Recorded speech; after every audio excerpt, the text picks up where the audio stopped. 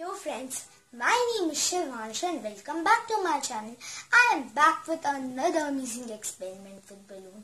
What happens if we put a balloon filled with air above a candle flame? What happens if we put a balloon filled with water above the candle flame?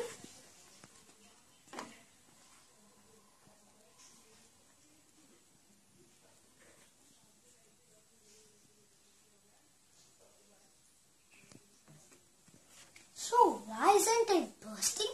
The water inside the balloon absorbs the heat and prevents it from bursting. Hope you enjoyed today's experiment.